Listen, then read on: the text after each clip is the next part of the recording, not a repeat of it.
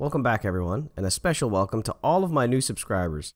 A few days ago, with the assistance of the wonderful Marvel Girl, I passed the 1,000 subscriber mark and I'm quickly on my way to 1,100. For anybody new to the channel, this platform is mostly for providing scientific evidence in support of the globe model of the Earth. But as part of that endeavor, I've been building an experiment to test the theory of gravity. One of my first videos went in depth about how Henry Cavendish first tested this theory in 1793. If you need a refresher on the origins of that experiment, click here. Well, for the past several decades, I have so badly wanted to actually do my own Cavendish experiment. Seven months ago, I found myself in Korea all by myself with an extra spare bedroom, so I thought, what the heck, let's do it. The original design was extremely simple. All I wanted to do was see the effect. But as I desired to get more and more accurate, and remove so many of the variables, well, the experiment kind of took on a life of its own in my spare room and in my online community of followers. So today's video is the culmination of the build, a top-down explanation of what I've constructed and how the system will work. And in the following months, I'll put her to the test. So I give you my Cavendish.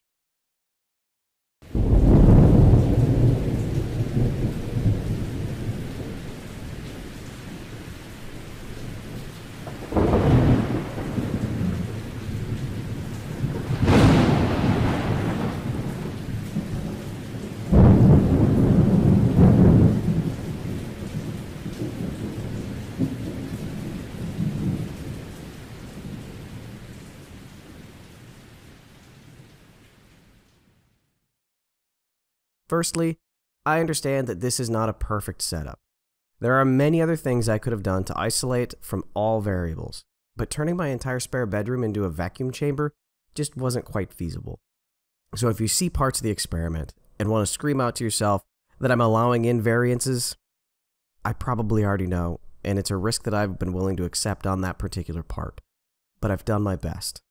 The experiment itself is located in my spare bedroom in an apartment in South Korea in the city of Daegu.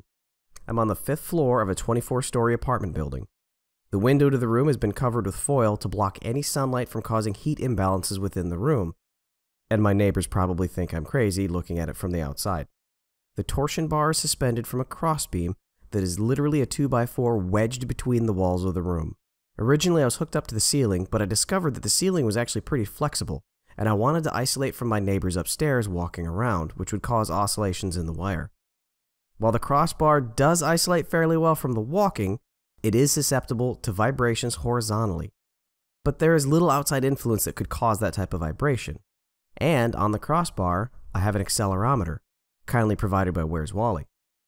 This accelerometer wirelessly transmits every 30 seconds any vibrations and the value of which to a website that consistently and constantly logs the values. And this data is publicly available to anybody who would like to look at it so stick around for that. One of the last additions I made to the entire experiment was a protective sleeve around the torsion wire. During a recent test, I left my apartment for a long weekend, and when I came back, I turned on the air conditioning because it was hot. But each room has independent in ceiling air conditioners, so that should not have caused any air currents in the room. But somehow it did. It didn't cause oscillation of the torsion bar, it caused sway of the wire.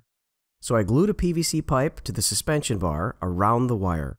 Hopefully this will eliminate from any currents in the room pushing the wire left and right. I also ensure that the pipe is in no way in contact with the wire and will not affect the movements. The wire itself is a 0.017mm guitar string. I tested multiple different types of wire, and this came out to be the best fit. Not too much tension to prevent oscillation, and not so little that the bar won't stop moving. I've had that problem before. The torsion bar itself is a one by one wooden dowel. I was able to find a nice Korean man who had a wood shop, and he turned the ends for me so that the end of the dowel could be inserted to the M1 mass. The M1 is a 3 pound lead sinker weight. Well, originally it was 3 pounds, now it's a little less, after I had to drill holes into it for the dowel. Many of you may remember that that project ended up with a trip to the ER. M2 are formed from a 40 pound iron dumbbell with the handles cut off. M2 is supported by a wooden plank resting atop a Lazy Susan. The Lazy Susan is connected via a rubber gear belt to a stepper motor. The entirety of this apparatus is located inside a semi-enclosed plexiglass box. All sides of the box are glued to the table, the two upper portions are glued in place. Due to the flexibility of the plexiglass, though, I had to add the 1x1 dowel for support. The center plexiglass is cut in half to allow the suspension wire. These pieces can be removed to access the box. One point of non-enclosure is where that wire enters the box. The second point is where the stepper motor belt enters the box. Now I've covered as much of this hole with tape to prevent airflow. Control of the stepper motor will be done via my computer outside the room from an Arduino circuit board, coding courtesy of Where's Wally. During experimentation, I will be observing via webcams and controlling the experiment from outside the sealed room, all through USB control. Inside the box, I have another accelerometer and two temperature sensors. The sensors are located in opposite corners, upper and lower portions of the box. There are also temperature sensors at the floor and affixed to the crossbar. All of these feed to a digital display, again provided by Where's Wally. The display reads all temperature sensors to include the temperature of the display itself and the atmospheric pressure of the display.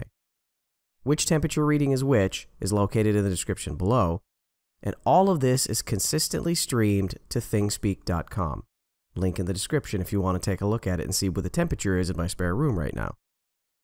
With all the temperature sensors, I'll be able to gauge the changes throughout the day and ensure that it's not temperature variations that are causing any results.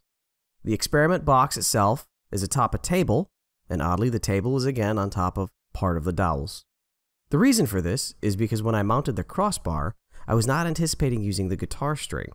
And a guitar wire does not come on a spool, so I literally needed to raise the experiment to bring M2 in line with M1. Well, how am I going to make the measurements? Sharks with laser beams. Mounted on the suspension point of the torsion bar is a first surface mirror. This means that unlike a normal mirror, where the reflective surface is behind the glass, this mirror reflects from the front, thereby causing no diffraction as the light goes through the glass. The laser itself is an experimental grade helium neon laser I found on eBay. I experimented with LED lasers, but their dispersion patterns and point sharpness were just insufficient for actual gathering good data. I could have used an astronomy pen laser, but those are battery powered, and I need to be able to turn it on and leave it for days as the system rests and becomes to equilibrium. The entry point into the box where the laser goes through the plexiglass has been drilled out to prevent diffraction.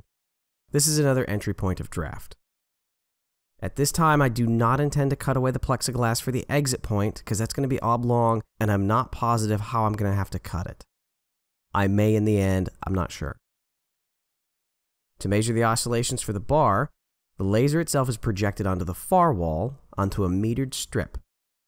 By picking a left or right spot on the laser as a reference point, we're able to identify the rest oscillation of the bar prior to the entry of M2, and then determine how far it deflects off of the norm once it comes to rest again.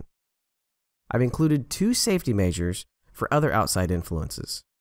Inside the chamber, I've included thin dryer sheets cut into strips the sheets are cut to ensure they don't come in contact with M2 or M1, but will allow for a visual indication of air current inside the box. I've also run copper wire around the box, onto the plank for M2, and to the wire above and below the suspension point and out to the M1s. This is to remove possible static electricity inside the experiment. All of these wires are connected to the earth contact for the socket in the wall. I've also tested all of the components within the system for magnetic fields to prevent the issue that magnetic pull might be the reason for the results. Neither the lead sinker weight nor the iron produces any measurable magnetic fields. The largest magnetic field I've found are the stepper motor, which is fairly small and outside the box, and the power inverter, which was huge. And that's the reason why the power inverter is now outside the room. The center of operations, as I said, will be outside the room, all connected through USB. I'm using OBS, and I will be able to observe and record multiple cameras, and the data streaming from the instruments. This is what the final video format should look like. I've run several experiments, some of them even broadcasting on YouTube. If you've seen them, you know it's like watching paint dry. So as the experiment moves forward, I think I'm going to move away from live streaming simply because I don't think a 12 hour broadcast for 2 minutes of excitement is fair to the audience. So for the initial runs, I will be recording and releasing an accelerated video and then a full video release immediately following that. That way, anyone can evaluate that experimental run in its entirety, beginning to end, to see if I missed something. I also plan on running a couple secondary tests. Right now, here's my plan. Run 1 will be M2 Alpha, which is the 40 pound lead weights. The second run will be M2 Bravo, which are 30 pound lead weights. Run 3 is going to be M2 Charlie, an empty box to simulate the size of the previous weights. This is to ensure that it's not the size of the weights moving through the box causing airflow that gives us the result we find. If I run the experiment with an empty box and there is no change, airflow isn't the cause. All of the exact measurements for all of the device and the data streams and historic videos are currently posted to a website that I made just for this experiment. I invite you to come over and take a look. And in the end, after everyone has evaluated the data for themselves, I may run a contest where I do an experiment with an unknown, just the box. Unknown if it's empty, or M2 Alpha or Bravo inside. We'll call it the What's in the box? contest. Dan Champion, you've already won my last two. I'm expecting you as a big performer for this one, man. So that's my Cavendish. It's not perfect, but not too darn bad if I do say so myself.